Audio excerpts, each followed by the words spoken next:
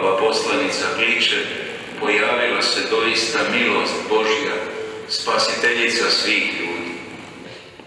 Braćo i sestre, neka vam je blagoslovljen, radostan i čestit Božić, u zahvalnosti srca koje prepoznaje darove i blizinu Božju, da svakome od nas Božić bude istinski događaj spasenja.